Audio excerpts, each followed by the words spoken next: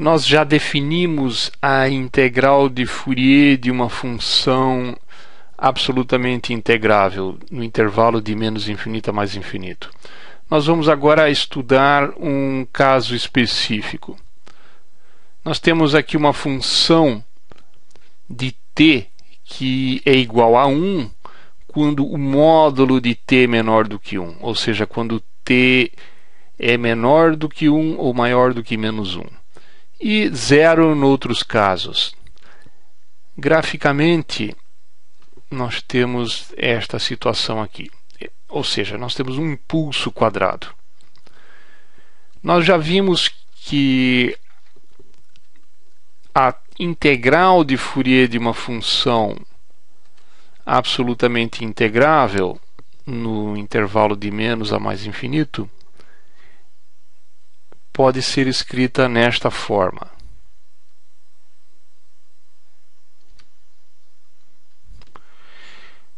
Que é o análogo à série de Fourier, só que agora de uma maneira contínua na frequência. Os coeficientes A ômega e P ômega desta expansão são dados da seguinte maneira. Estas fórmulas aqui nós vimos no vídeo anterior.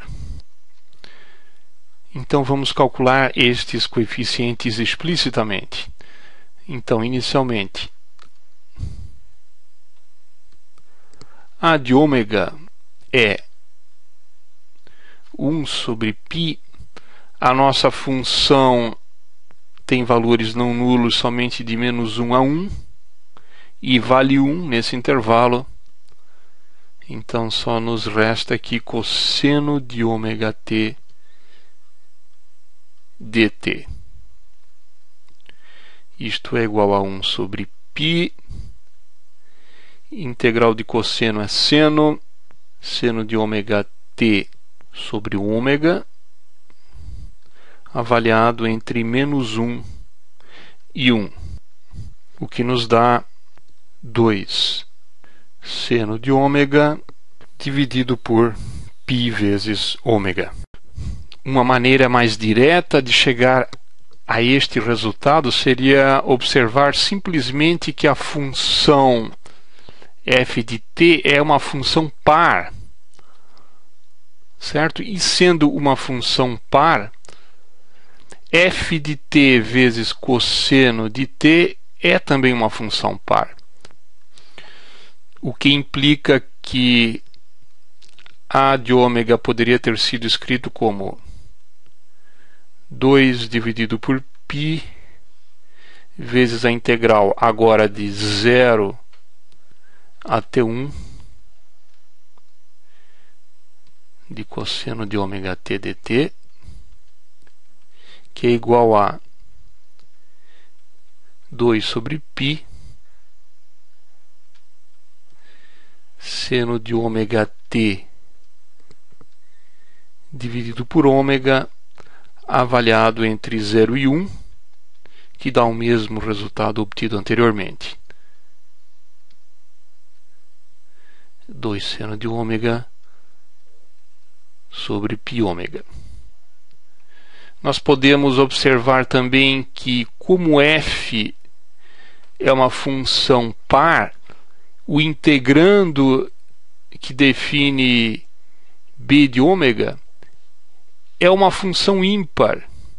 E é uma função ímpar integrada simetricamente em torno da origem, de modo que este resultado aqui tem que dar zero. Então não é necessário calculá-lo, nós já sabemos de antemão que b ômega é igual a zero. A integral de Fourier de f de t. Então só contém um, um coeficiente a de ômega, ou seja, f de t pode ser escrito como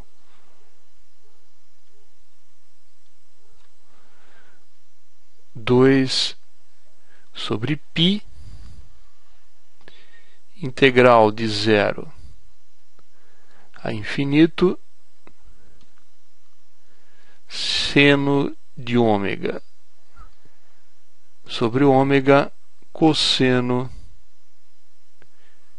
de ômega t de ômega. A princípio, o nosso problema termina aqui, ou seja, nós obtivemos a integral de Fourier da nossa função. Mas este resultado pode ser utilizado para obter algumas identidades interessantes. Nós sabemos que f de t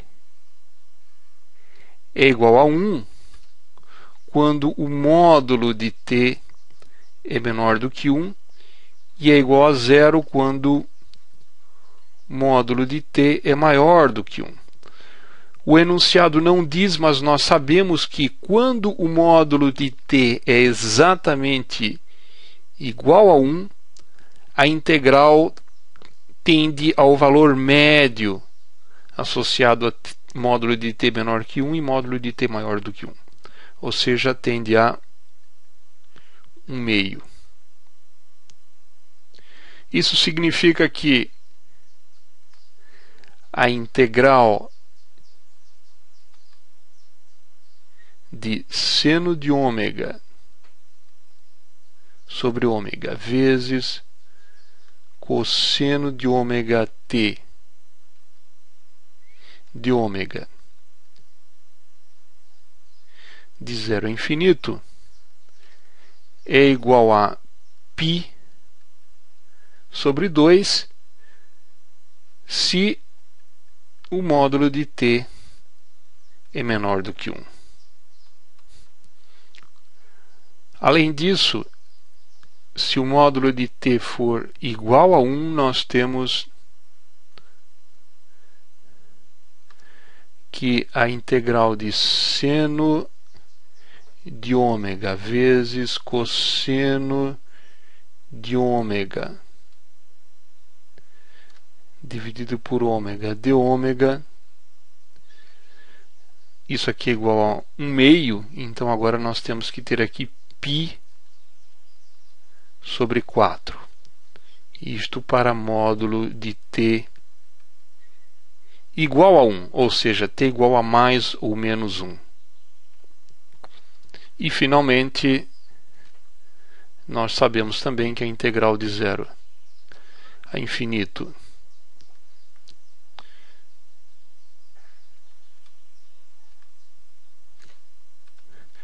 de seno de ômega sobre ômega vezes cosseno de ômega t de ômega é igual a zero se o módulo de t é maior do que 1. Um caso interessante corresponde a t igual a zero. t igual a zero está no intervalo módulo de t menor do que 1, de modo que vale esta expressão. Aqui nós temos cosseno de zero igual a 1. Portanto, integral de zero a infinito de seno de ômega sobre ômega é igual a π sobre 2. Este resultado nós já havíamos obtido anteriormente usando integração complexa.